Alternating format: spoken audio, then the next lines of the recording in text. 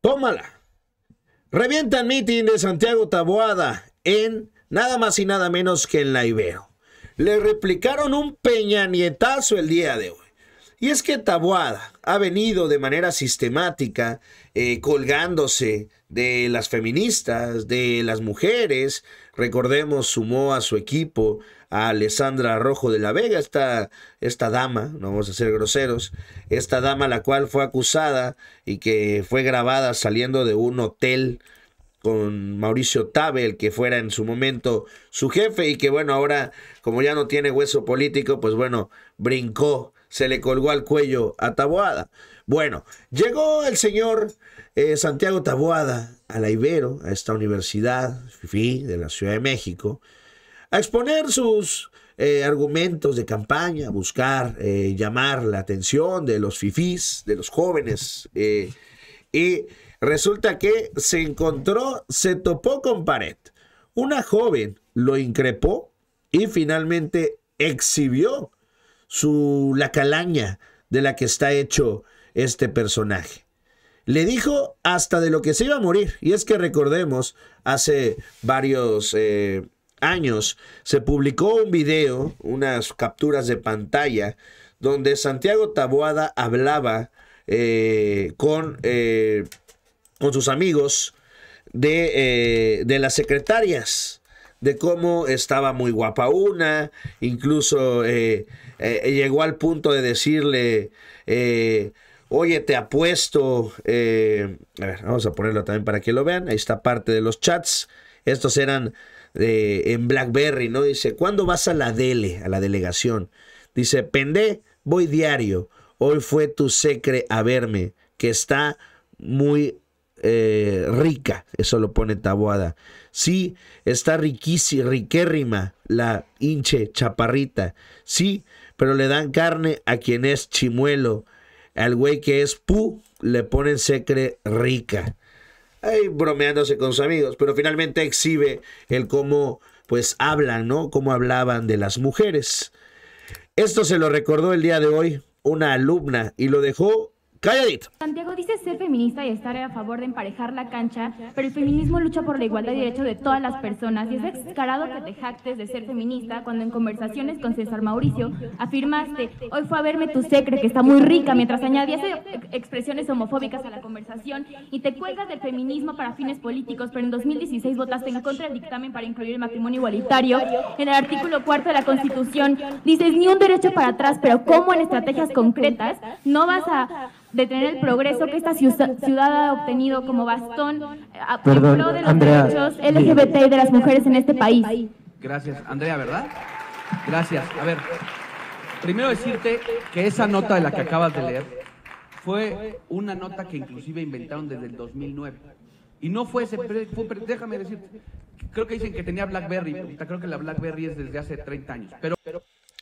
Falso. Vamos a ver eh, época de los BlackBerry. Eh, y esta fue literal. Eh, hace, bueno, sí, salió en el 99 la primera BlackBerry, pero vamos a decirle, el auge total de esta empresa se da precisamente en el 2013, es decir, literal, hace 10 años, con lo cual, pues otra farsa más de Tabuada. Pero seguimos escuchando. yo, yo lo que te quiero decir es, en su momento, porque yo era inclusive creo que dirigente juvenil, lo denuncié. Porque eso fue una, una calumnia que vino de una persona este, que inclusive nada más... Fue contexto, pedir las estrategias, por favor. Artículo cuarto de la Constitución. Mira, yo como abogado, y ahorita a lo mejor quien nos antecedió, que también es abogado, te lo dice. Yo era diputado federal. El matrimonio no lo puede regular la federación. Esa es una invasión al federalismo y por eso un año después lo voté a favor en la constitución de la ciudad. Finalmente queda exhibido Taboada, lo exhibe esta joven, eh, pues de su forma de manejarse. Y esto a pesar de que la propia universidad le estaba haciendo eh, el caldo gordo, incluso lo pusieron eh, a Taboada en las megapantallas del patio, ya que pues no muchos querían entrar al recinto donde estaba el candidato, pues bueno, se los pusieron en las pantallas. Llevamos seis años en donde si eres de acá, no llevamos seis años. Es decir, para que lo vieran a la de a fuerza absolutamente todos. Clara Brugada también el día de hoy exhibió el cómo, pues eh, Tabuada ha continuado entregando eh, permisos e incluso él es el responsable de esta perforación que se dio hace una semana en el metro, precisamente en la línea 12, en uno de los túneles del metro donde virtieron toneladas de cemento que dañó a las vías eh, férreas del metro. Vamos a escuchar lo que dijo Clara. esa responsabilidad. Misógino. Aquí está el permiso de construcción de esa obra. Es la licencia de construcción de esta obra irregular otorgada por Santiago Tabuada en el 2023. Y ya ha pasado, ¿cuánto? ¿Una semana? ¿Cuántos días? Y no han respondido ante esta responsabilidad. Así que, frente a este grupo que hace del gobierno un medio para enriquecerse, nosotros reivindicamos a Juan. Juan sostuvo, dijo, los funcionarios públicos no pueden disponer de las rentas sin responsabilidad. Dijo, no pueden improvisar fortunas ni entregarse al ocio y a la disipación, sino consagrarse asiduamente al trabajo. Pues así lo, simbra también Clara Brugada, el periodista Hernán Gómez Brueda, eh, también conocido en redes, eh, como lo bautizó Chumel Torres como el Facundo Malo. Bueno, habló también y exhibió más información sobre el tema del cártel inmobiliario. Vaya que le está cayendo una cepilliza a Taboada. ¿Sabes en qué consiste el famoso cártel inmobiliario en la Benito Juárez, del cual se benefició y del cual es cómplice y partícipe Santiago Taboada? Les cuento.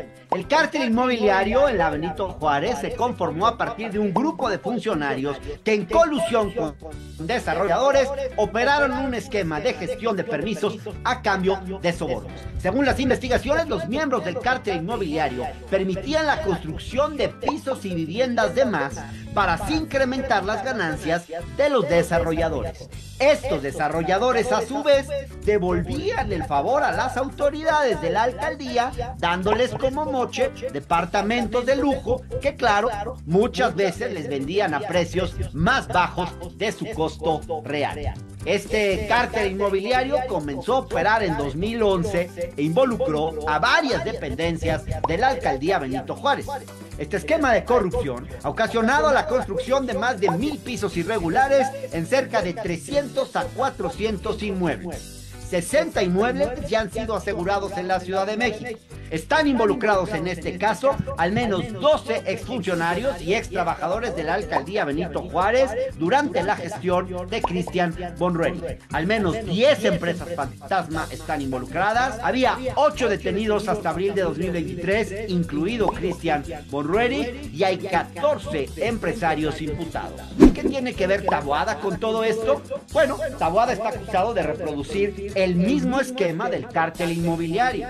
También expidió terminaciones de obra y uso de ocupación de edificios que violan las leyes. Tabuada es responsable de edificar hasta 40 obras irregulares con 66 niveles de excedente, lo cual representa un quebranto de hasta 7.124 millones de pesos. Tabuada, además de todo, es un encubridor, porque como alcalde debió ayudar en la investigación de las denuncias, pero prefirió proteger a sus amigos.